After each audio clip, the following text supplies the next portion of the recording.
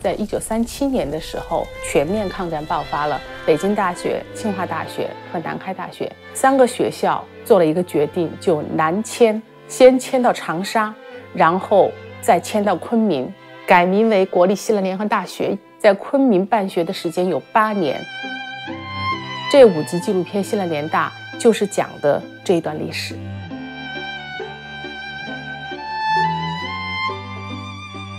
西南联大档案的整理就是这么厚一摞，有六本书，制作过程的接近两年半的时间。我们一共采访了十七位还活着的老校友，杨振宁先生啊，王希季、潘季鸾，绝大部分在北京；杨毅先生在南京，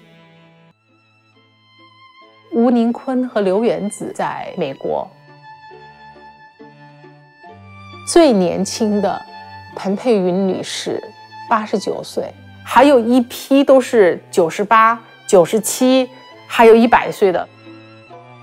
当讲到西南联大的时候，每个人的眼睛里都在放光。两大一星的元勋哈，其中有很多都是西南联大毕业的。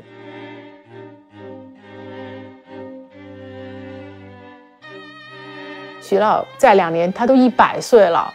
他跟我说，正在翻译的是莎士比亚全集，一定要在一百岁之前把莎士比亚全集翻译完。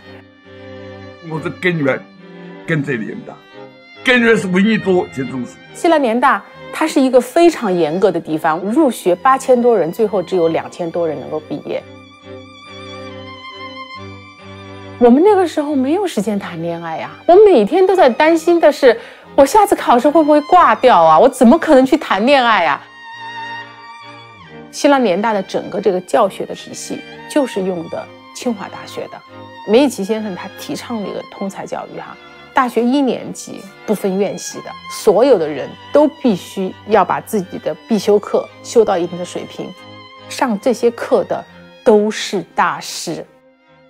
所有的大一报名系的教授一年级都。开两个礼拜课，诗词歌赋古今中外都有。这是中国有史以来最好的国文课。师资的这个强大，完全是一个豪华天团啊！有王力，有罗庸，有闻一多，有朱自清、沈从文、钱穆、金岳霖、陈寅恪啊，全部都是让你振聋发聩的名字。那个时候，他们到西南联大的时候就是二十多岁。华罗庚身材很修长，戴着一个眼镜。他那个时候就是一张娃娃脸。冯友兰他的妻子是要在院子里炸麻花的。闻一多先生呢，就是一个无忧无虑的知识分子。觉得开心的时候，全家人就唱这个桑塔鲁奇亚，让所有的学生跟着他一起唱。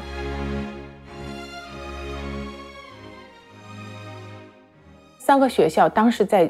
昆明其实并没有太多的家当，那个时候要盖一个房子都缺钱。校长的夫人要到街上去卖糕饼。闻一多先生曾经当过自己的一件皮大衣，因为家里没有饭钱了。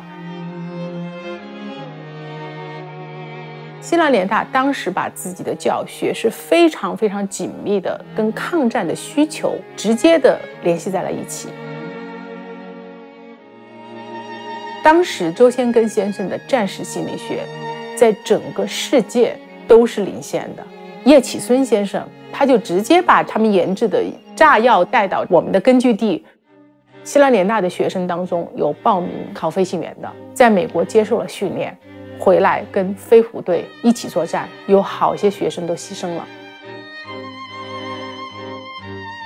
每个人的生活都是在一九三七年七月份。发生了改变。很明确啊，抗战之前衣食无忧，潜心的去做学问。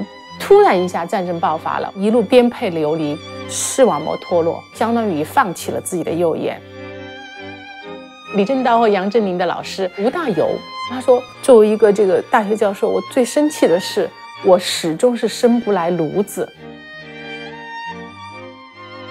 他每次去上课要带一杆秤去，上了课以后他带着自己的秤去菜市场买菜。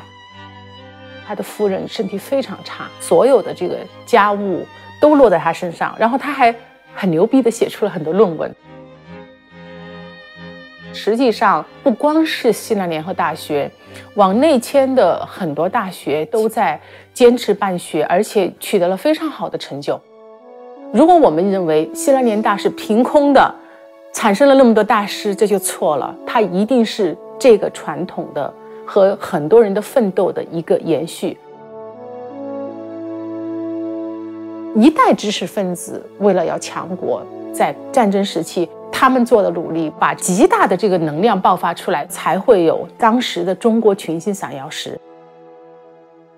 真正是激情燃烧的岁月，对我的一生有深远的影响。Make the most of every day，就是每一天一定要做的最好。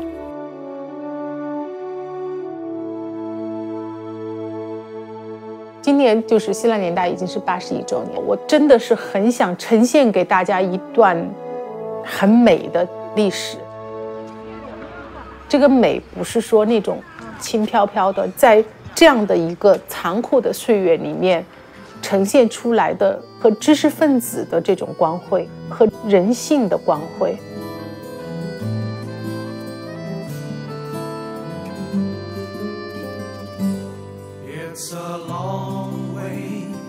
To 联合大学，It's a long